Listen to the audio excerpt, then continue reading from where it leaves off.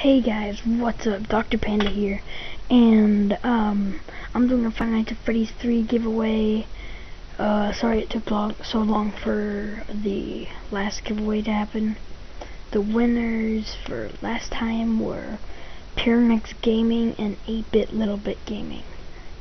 And um, just leave a comment down below of your Steam profile name and I might be able to choose you for a Five Nights at Freddy's 3 giveaway.